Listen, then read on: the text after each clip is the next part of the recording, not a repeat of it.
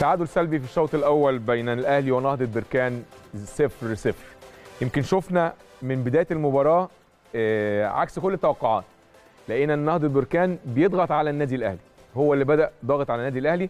يمكن أول فرصة كانت لديانج بعد سبع دقائق ولكن تحولت المباراة بعد هذه الفرصة لهجوم ضاغط أو ضغط من قدام من قدام ال 18 من نهضة بركان واعتمد الأهلي على الكرات الطولية. يعني ال- الغريب اللي إحنا السيناريو اللي إحنا كنا حاطينه قبل الماتش إن هم بيعتمدوا على الكرات الطولية هم ما اعتمدوش على الكرات الطولية بالعكس هم كانوا بيسلموا وبيضغطوا النادي الأهلي من قدام وبيلعبوا آه، كور على الجناب وبيوصلوا لل 18 وبيمثلوا خطورة علينا. النادي الأهلي آه، ما أعرفش الحلول كانت قليلة جدا الشوط ال- الأولاني خصوصا الحلول الهجوميه طبعا.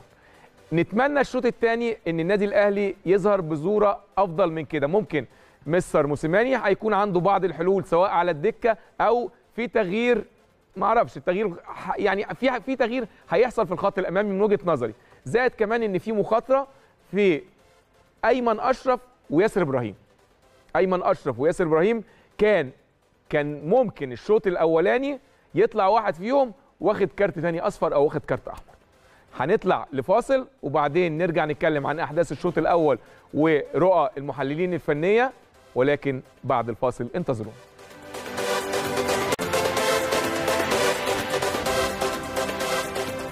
نرحب بيكم مرة ثانية أعزائي المشاهدين. كابتن ماهر البداية عكس ما توقعنا تماما. بالظبط بالظبط. يعني عكس ما توقعنا كلنا أجمعنا إن النادي الأهلي هينزل. هيضغط من أول ربع ساعة وهو هيباخت آه، نهضه بركان آه، من البداية. اتفاجئنا العكس. مم. يعني النادي الأهلي هو اللي بيلعب كورة طويلة الكرة الثانية معظمها استحواذ للثلاثي اللي موجود محمد فرحاني والعربي الناجي وبكري الهلالي ودي ادتهم الثقة من خلال الشوط الأولاني. النقطة الثالثه كمان يا أيمن ال- الالتحام.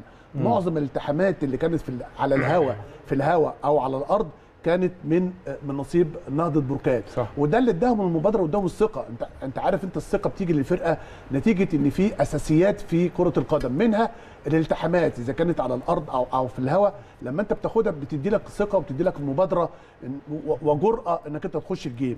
فالنهارده النادي الأهلي بدأ بدأ من الدقيقة 3 الهجمة اللي كانت من ناحية اليمين اتعملت كروس العرض اللي اتعمل مؤثر بشكل كبير جدا من محمد هاني. عدت محمد شريف لو هنبص هنلاقي إن الهجمتين أو الثلاثه اللي هاجمهم النادي الأهلي ما عندناش كثافة عددية زي ما الكباتن اتكلموا في بداية الاستوديو إن إحنا لازم يبقى عندنا كثافة عددية داخل الم... 18 بالظبط عشان نقدر نسجل هدف. لكن ال ال ال ال الهجمة الأولانية المنظمة كانت من محمد هاني لمحمد شريف عدت محمد شريف وقدرت يستحوذ عليها آه، دفاع آه، آه، نهضة بركان. الهجمة الثانية اللي هي حسين الشحات اللي اخترق في الدقيقة 7 اخترق بشكل كبير جدا وراح مصلح الكره خارج ال 18 آه، يانج قابلها بتصويبة لكن مع الأسف ما كانتش متقنة وما كانتش مؤثرة. ودي كانت ممكن يبقى هدف للنادي الأهلي برضه في بداية المباراة كانت تفرق معانا بشكل كبير. اتقلب الحال لنهضة بركان. فوجئنا بعد كده ال- الاستحواذ في نص الملعب لنهضة بركان. الهجمات آه، آه، على النادي الأهلي لنهضة بركان. الضغط من الأمام لنهضة بركان من أمام مدافعي النادي الأهلي. ودي حاجة كانت غريبة زي ما قلت لك إن ال- العوامل اللي ساعدت على كده إن هم دخلوا المباراه من ناحية الالتحام إذا كان في الهواء أو الالتحام اللي كان آه، آه، على الأرض والاستحواذ اللي سيطروا عليه آه، آه، في داخل ال- آه، الملعب. عندهم فرصتين يا أيمن فرصتين خطيرين جدا كان صحيح. ممكن يكونوا أهداف آه، آه، على النادي الأهلي. الكره المرتده السريعه اللي كانت من وسط الملعب اللي اتعملت بين دفاعات النادي الأهلي. لمحسن ياجور اللي هو آه، بيعتبر نجم الشوط الأولاني وده كان انفراد في الدقيقة 27 وضع هدف أكيد للنهضه بوكايل آه،. آه، آه، في في الدقيقة 45 في نهاية الشوط الأولاني ضربة الرأس الفاول اللي اتعمل. آه، اتعمل كرة عرض داخل المنطقة. قدروا يلعبوها لكن ما كانش فيها دقة من مهاجمي آه، نهضة بركان ويضيع هدف أكيد لنهضة بركان. صحيح. كابتن علاء ليه النادي الأهلي لم يكن في أفضل حالاته الشوط الأولاني؟ وشفنا سيطرة واستحواذ في نص الملعب بالذات من نهضة بركان. عشان نص الملعب راح منك. إيه الأسباب؟ ابتديت ابتديت يعني لحد كبير كويس. لكن عن- يعني هرجع ورا كده يومين ثلاثة أيمن. تصريحات المدير الفني لنادي بركان هو اللي حصل النهارده. تصريحاته كلها أنا أنا تخيلت إن هو بيتكلم كلام بيحفز. بيه لعيبته. لكن واضح إن هو كلامه كله أنا بتكلم على الشوط الأول بس أيوة. كلامه كله هو بيحترم النادي الأهلي مش خايف منه وأنا مش جاي عشان أخسر وأنا عندي نفس الطموح صح. وأنا لقيت واثق فيهم الكلام اللي قاله كله النهارده يا أيمن بعد سبع دقائق هو ده الشوط الأول.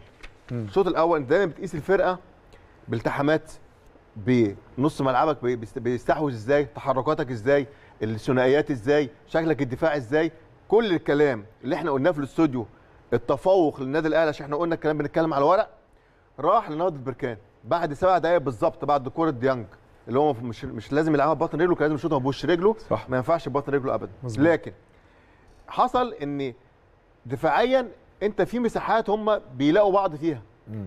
يعني ما أعرفش أنا مش عايز أقول كلمة هل لعيبة النادي الأهلي نازلين الثقة زايدة شوية يعني في أيوة. ثقة زايدة شوية إن هم أحسن من نهضة بركان في كل حاجة دي ما كلفتهم الشوط الأول. والحمد لله أيمن بسرعة كده إن الشوط الأول طلع 0 0 الحمد لله. كابتن عادل سريعا حلول موسيماني الشوط الثاني. آه لازم آه نعمل عكس اللي عملناه الشوط الأولاني بعد المسافات ما بين لاعيبتنا هو اللي عمل أدى لكده. يمكن آه نهضه بركان هي اللي قريبين من بعض قوي. فاحنا بعاد عن بعض جدا فلازم نقرب خطوطنا. آه تاني حاجة لازم حسين الشحات وطاهر محمد طاهر التحرك يبقى أسرع من كده. أيمن أشرف وياسر إبراهيم لازم يخلي بالهم لأن ممكن حد فيهم يطرد وأنا رأيي إن لازم الاثنين يتغيروا من بداية الشوط الثاني لازم يتغيروا. آه، الحاجة الثانية المهمة آه، سولية والي ديانج لازم يقفوا في وسط الملعب كتير والكرة ما تتقطعش منهم كتير. خلي بالنا من الحاجات الثابتة ما زلت بقول أصعب حاجة ليهم الحاجات الثابتة. بإذن الله. كابتن بلال سريعا هل نهضه بركان هيكمل بالأسلوب ده ولا هيكون عامل اللياقه البدنية وارتفاع السن؟ هيكون له دور الشوط الثاني بص نهاد بركان الشوط الأول ما لعبش زي الشوط الثاني زي ما إحنا كنا متوقعين. آه، لعب بطريقة الاستحواذ وبيلعب بطريقة ال- ال- ال- ال- الخروج كتيم واحد وإن هو بيدافع برده كتيم واحد. ما عندوش أزمة في حتة الجري واللياقة البدنية لأنه ما عملش يعني ما اشتغلش كتير قوي في حتة الجري. الشوط الثاني يعني لازم بس الأهلي يضغط شوية لازم الأهلي يبقى عنده مبادرة الضغط في كل مكان لازم الاثنين بتوع نص الملعب بتوعنا السوليه والي ودانجي يبقى أشد من كده شوية يضغطوا أكتر من كده شوية آه. عشان يبقى لينا الغلبة في نص الملعب. مستر بيسو موسيماني سمع كلام الكابتن عادل وهنشوف من أول الشوط الثاني علي معلول مكان أيمن أشرف ورامي ربيعة مكان ياسر إبراهيم. هنروح بحضراتكم لفاصل. ونرجع مرة تانية بعد نهاية أحداث الشوط الثاني. كل توفيق النادي الأهلي تحقيق الفوز إن شاء الله. أرجوكم انتظرونا.